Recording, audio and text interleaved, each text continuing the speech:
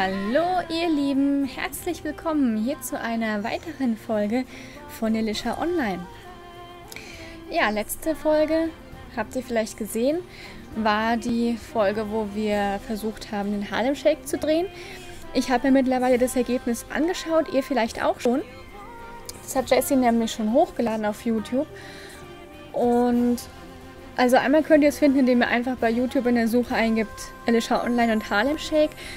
Wenn ihr meine Let's Plays schon alle verfolgt habt, schaut am Ende von, von, von Folge 20. Da habe ich das nämlich unten rechts in so einem kleinen Kasten verlinkt, dass ihr gar nicht mehr großartig suchen müsst. So. Auf geht's zu Folge 21.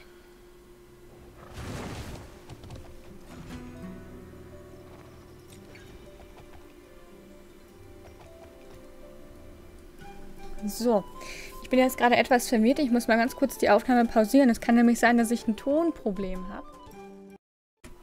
Nein, ich habe kein Tonproblem, was auch eben da für ein Geräusch bei mir im Hintergrund in Windows war. Ja, ihr Lieben, eine Woche. Eine Woche sind jetzt die Elisha-Server noch online.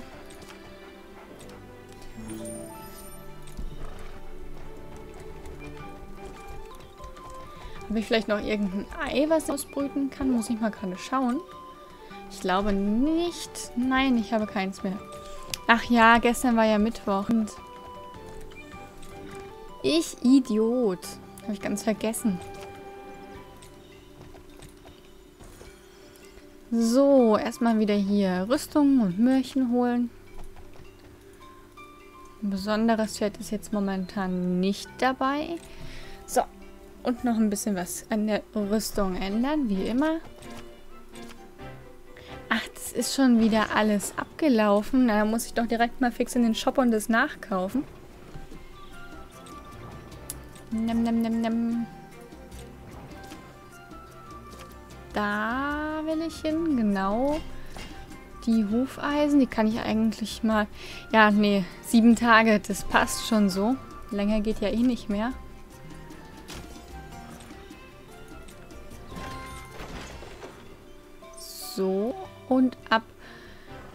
Zum Umkleiden. Ach, hat er jetzt direkt schon an. Stimmt, ja, stimmt, ja.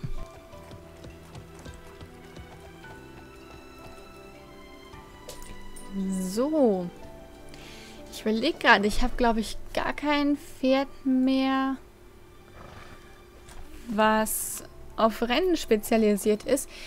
Ich möchte euch nämlich gerne mal, da ich nicht weiß, ob ich also da ich, da ich nicht weiß, ob ich in die Map in einem Rennen reinkomme, weil da ja teilweise festgelegte Maps ausgewählt wurden, würde ich euch gerne mal im Solo-Rennen eine bestimmte Map zeigen, die es nur im Race-Modus gibt und nicht in den Battle-Modes. Das nehme ich, nehme ich da... Ach, das könnten wir uns ja eigentlich mal mit, mit Schoko ansehen. Jetzt muss ich nur mal gerade gucken. Ich weiß gar nicht mehr genau, wie ich dahin kam. Ich mache so selten. So, hier Race. Map-Auswahl. Die hier müsste das sein, genau. Ich mache das jetzt einfach mal auf dem leichtesten Schwierigkeitsgrad, weil ich mir ganz viel Zeit dabei lassen möchte. Ich möchte euch jetzt hier nicht die Strecke gehetzt vorstellen, sondern ich möchte, dass ihr was davon habt, wenn ich die euch schon zeige. So. Gamepad geschnappt. Ich muss ehrlich sagen, auch wenn er eigentlich so die Standardfarben hat, wie das erste Pferd hat, was man bekommen hat, irgendwie ist ja doch Schoko mein Liebling geworden. Das ist so eine Dschungel-Wald-Azteken-Map, also richtig, richtig hübsch finde ich die. Und die ist super, super lang. Ach, Y war gesprungen, oder? Ja. Die ist sehr lang, aber das ist auch kein Rundkurs. Also es ist eine Einfachstrecke.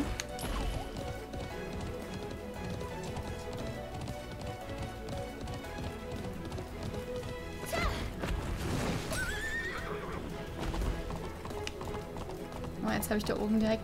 Stimmt. Race Mode, das ist ja das mit den, mit den Hufeisen.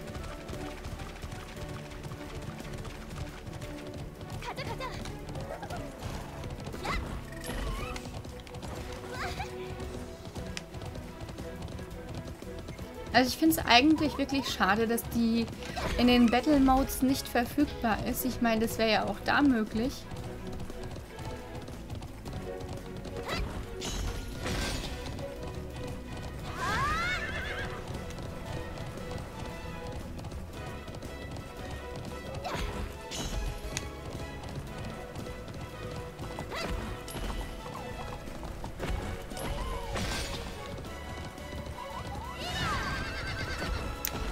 Schon am überlegen, was haltet ihr davon, wenn ich... Ich weiß ehrlich gesagt noch nicht, ob es technisch möglich ist. Ich habe nämlich die ganzen aufgenommenen Teile aus Platzgründen schon wieder gelöscht. Also die Einzelteile, die Folgen habe ich natürlich noch. Aber wenn es technisch möglich ist mit meinem Videoprogramm, würde ich vielleicht ähm, ein paar Szenen rausschneiden aus den ganzen Elisha-Folgen, die ich gedreht habe und so ein kleines Best-of davon machen. Wenn die Server dann offline sind, so als schöner Rückblick. Wie gesagt, ich kann nichts versprechen, auch wenn ihr jetzt sagt, ja, mach das bitte. Ich kann es natürlich nur machen, wenn es auch von den, von den technischen Möglichkeiten her funktioniert.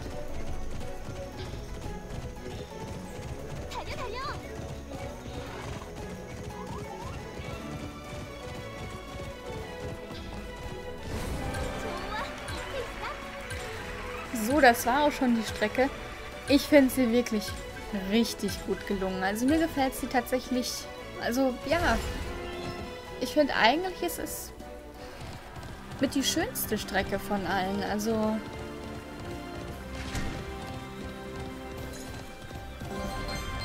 und was kriege ich? Hoi, juhu. Oh, ich habe sogar noch einen neuen Rekord geschafft. Ich wollte mir doch eigentlich Zeit lassen. Mensch.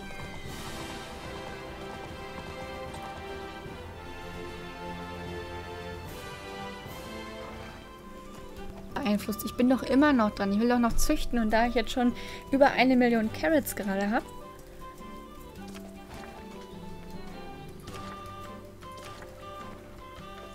Tachi könnte ich züchten. Die haben mir zu viel darauf, ihre, ihre Fellfarbe weiter zu vererben. Probier es lieber mal mit Flatterschei, dass sie auch die besten Werte hat von all meinen Pferden.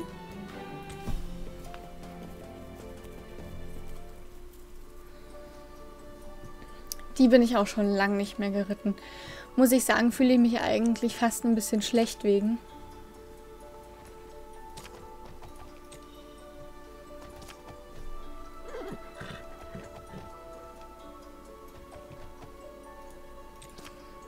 Sag mal, was ist denn hier los? Vererben die alle ihre Fellfarbe nicht mehr? Die einzigen, die die vererben, sind Schweine teuer und haben schon nur noch drei Herzen. Dann werde ich wohl mal hier die Fellfarbe rausnehmen, die Begrenzung, und einfach mal so gucken, ob vielleicht noch irgendwas Hübsches dabei ist. So.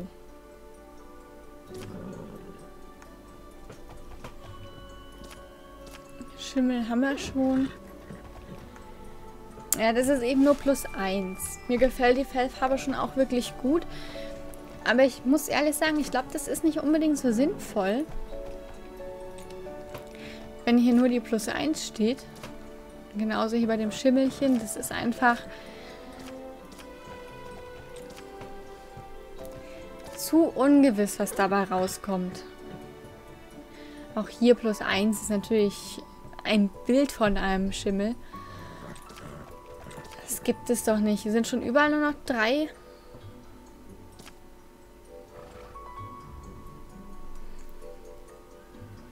Ist ja so extrem teuer.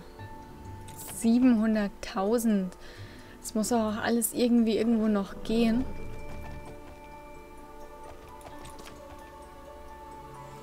Trotzdem, ich muss sagen, es juckt mich in den Fingern, es zu probieren.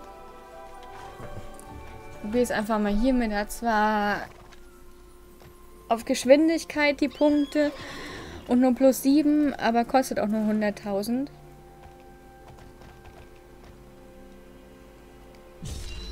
Und es kommt empfohlen bei rum. Es ist ein Palomino.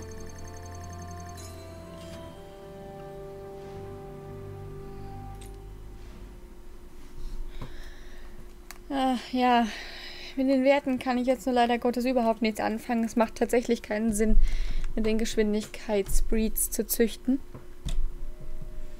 Ähm, ähm.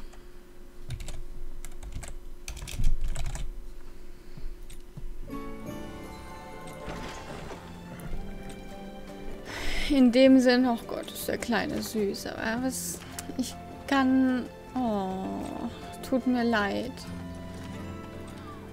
Oh Gott, ich muss ganz schnell wieder in die Zucht gehen. Das kann ich nicht mehr angucken, wenn der geht.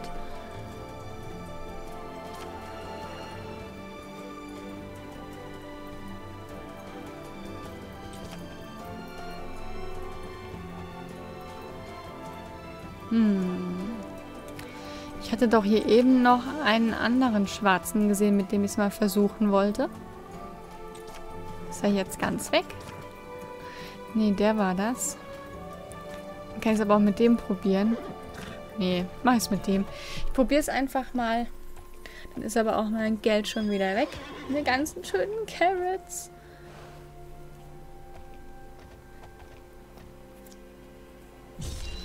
Und es ist ein Fohlen. Oh, auch meine etwas seltenere Fellfarbe.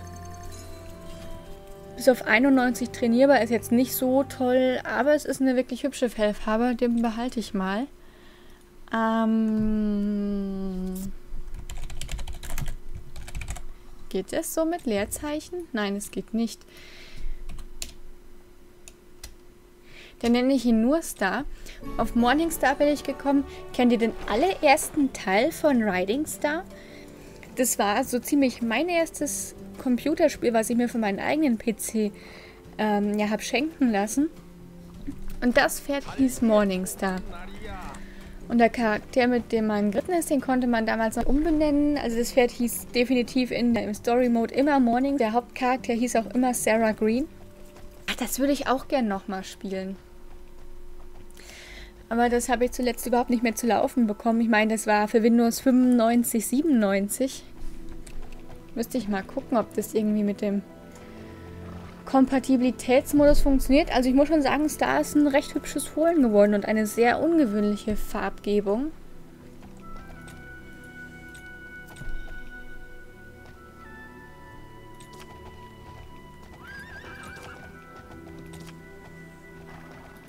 Ihm zu Ehren reite ich dann einfach nochmal mit seiner Mami ein paar Rennen. Hm, das heißt, ihm zu Ehren. Eigentlich dürfte ich es ja jetzt nicht von ihm wegholen. Ist ja gerade erst geboren, der Kleine.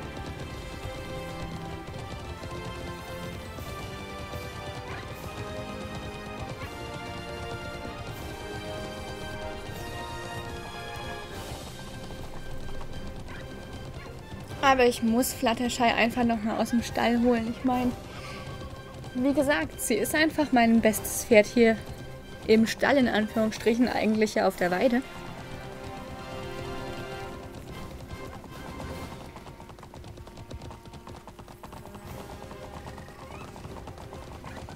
Ach, das ist so nervig, wenn man hier so ewig lang warten muss, bis die Zeit hochtickt. Wo bin ich jetzt? 1,50. Ja, immer diese Wartezeiten.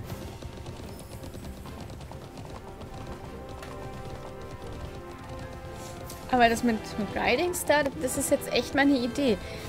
Ich weiß gar nicht, ob ich die CD hier noch irgendwo rumfliegen habe. Müsste ich eigentlich. Also weggeschmissen oder sowas oder weggegeben habe ich die auf keinen Fall. Ich habe auch die anderen beiden Teile gespielt, den zweiten und den dritten.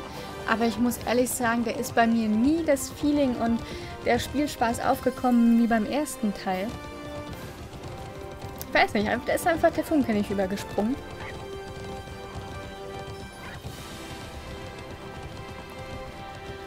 Und sonst, dass ich sonst noch so für Pferdespiele gespielt habe, das sind eigentlich relativ wenige, weil viele sind ja doch eher so auf rosa Blümchen, bunte, heile Welt gemacht.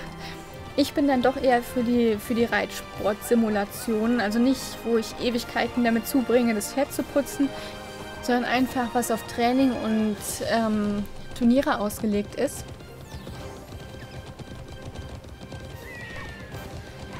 Von daher, was mir auch noch recht viel Spaß gemacht hat, ich bin gerade am überlegen, was das für eine, eine Jahreszahl dahinter war. Auf jeden Fall gab es da dieses Isabel Wert Reitsport, das habe ich recht gerne gespielt. Dann, das ist auch schon ganz alt und hatte damals auch noch eine ziemlich, ziemlich miserable Grafik. Das war Equestria 2001. Dann habe ich sehr gerne gespielt auch das ähm, Lucinda Green's Equestrian Challenge. Und auch der erste Teil von My Horse and Me hat mir ganz gut gefallen. Aber da auch nicht die Sachen mit Sternchen einsammeln oder sowas, sondern einfach nur wirklich pur das bloße Turnierreiten. Und dafür war es mir dann eigentlich schon wieder ein bisschen kurz. Aber wenn man ein kurzweiliges Spiel sucht, ist es definitiv echt gelungen. So bin ich jetzt nach der ganzen Wartezeit rausgeflogen. Dankeschön.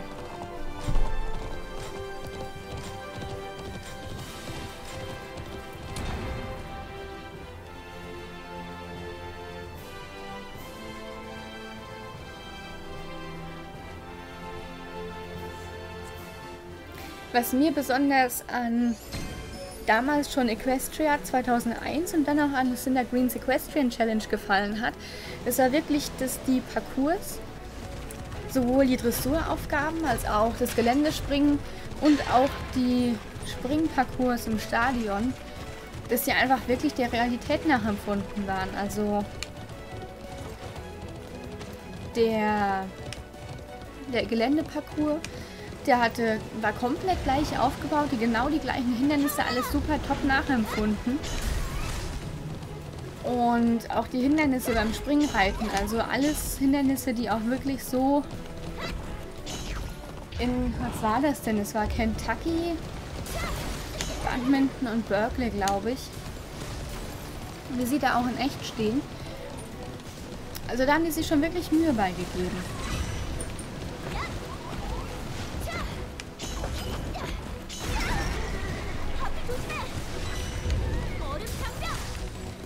Und ich sag mal, grafisch ist eigentlich das My Horse and Me an Pferdespielen kaum zu übertreffen. Und weil ich da dann jetzt doch recht hohe Erwartungen reinstecke, also jetzt auch mal von Realismus, Lisha Online sieht ja eigentlich grafisch auch wirklich sehr schön aus. Ähm, aber auch besonders grafisch, nicht nur inhaltlich, sondern auch grafisch, habe ich wirklich große Hoffnung bei dem bei einem äh, Online-Pferdespiel, was kommen soll, dann auch auf Deutsch. Riding High heißt es, vielleicht habt ihr davon schon mal gehört, gesehen, gelesen, wie auch immer. Das soll, wenn alles gut geht, dieses Jahr am 1. November rauskommen. Und das, was da momentan so an Bildern schon, was es da schon zu gibt, das lässt also wirklich hoffen, muss ich sagen.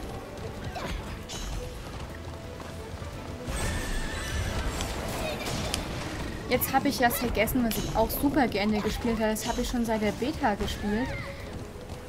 Das war... Ähm, ach, wie hieß es denn noch? Riding Club Championships, genau. Das war auch wirklich klasse. Ich muss aber sagen, das ähm, Problem war hinterher, als es Free-to-Play wurde, als man nicht mehr die 5 Euro oder was das damals waren, zahlen musste monatlich. Da war das so überlaufen, dass die einfach nicht mehr mit den Servern hingekommen sind. Es hat extrem geleckt, es gab Wahnsinnsverzögerungen.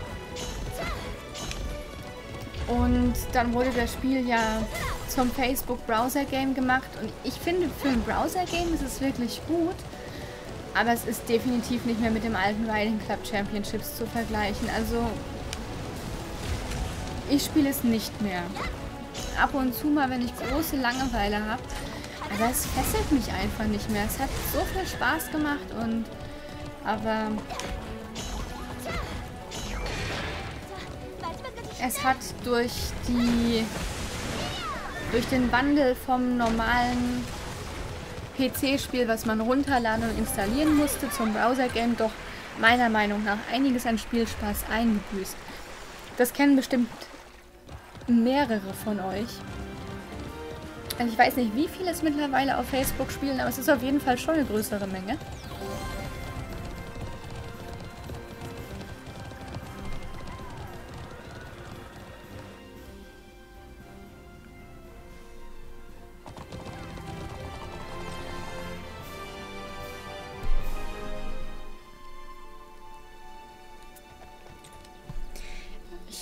Weiß nicht, ob es möglich ist. Vielleicht kann ich ja mal...